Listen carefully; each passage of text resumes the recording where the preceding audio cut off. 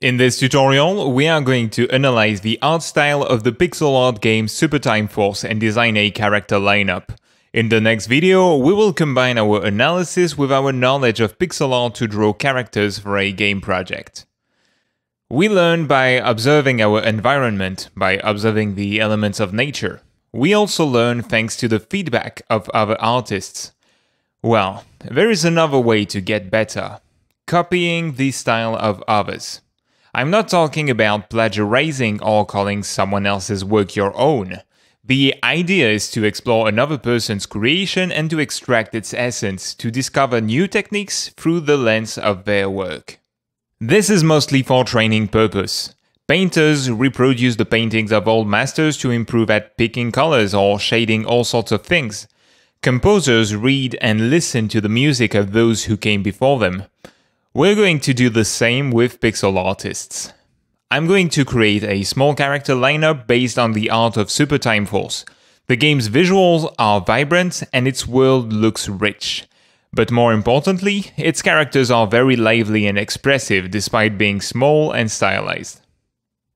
So, why are the characters of Super Time Force like that? Well, small sprites are easier to animate, and it's even easier if you use a restricted amount of colors and details. Here, the characters use one to two main colors and their design reinforces their function or the type of weapon they use. They also need to be small on screen for the gameplay to work. As the game is fast paced, the players need good visibility forwards and backwards. The pixel art features no anti-aliasing. The characters are cel shaded. Most of the time, each color swatch is declined into one light color and one shadow tone. In the screenshots you can find online, the art is upscaled three times. Because of that, the characters look pretty blocky, although they are also pretty cute. There is a low color contrast in the game's backgrounds. The characters are way lighter with saturated tones. However, the characters themselves, isolated, do not feature a high value contrast. The highest contrast can be seen on the visual effects. But let's shift our focus back to the characters. They are 20 to 30 pixels and 2.5 heads tall on average. The lower body accounts for less than a third of the character's height. The eyes are suggested with a dark dot, and the mouth is made of two adjacent pixels. Humanoids have pink cheeks. Their bodies are round overall, while the enemy robots are blocky, mostly made of squares.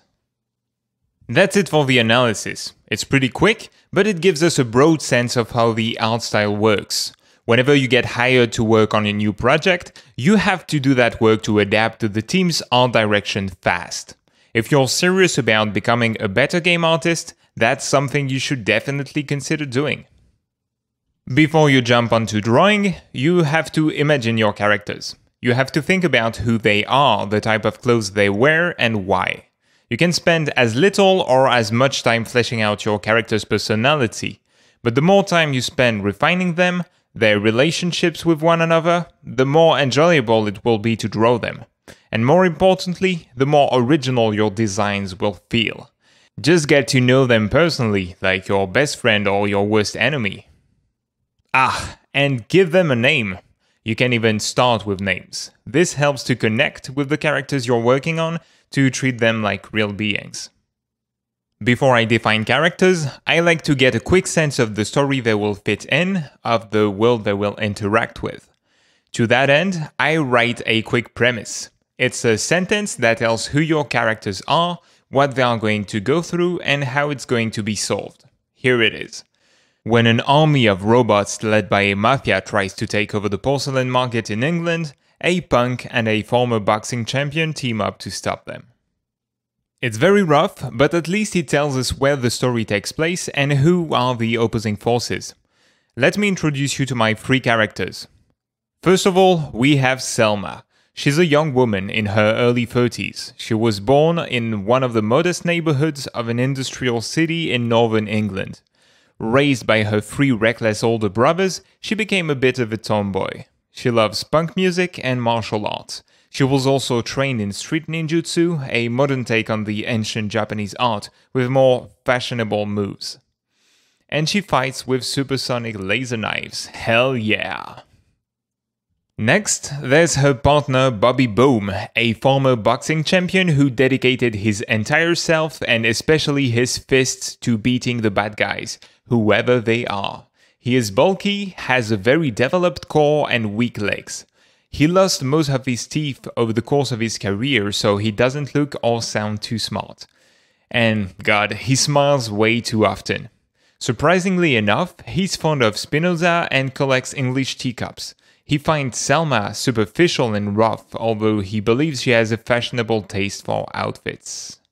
Last but not least, we have our hero's arch nemesis, Sergeant Jenkins. This bionic commander wished he was a woman. He wears robes, enjoys polishing his nails, and uses bright red lipstick. He leads a gigantic army of dumb bots and drones in the name of some shady guy with a cat. And um, a ton of money to waste, I guess. And that guy's mafia wants to dominate the tea market in England.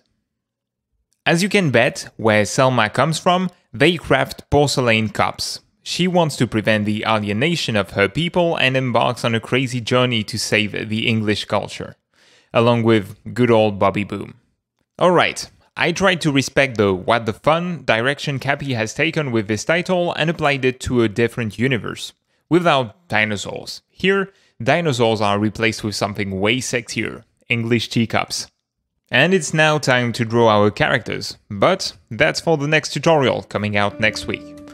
In the meantime, you can join the Game Art Quest Facebook group to see those characters coming to life, and to train alongside a few dozens of game artists. If you liked the video, you can click on the like button and become a subscriber.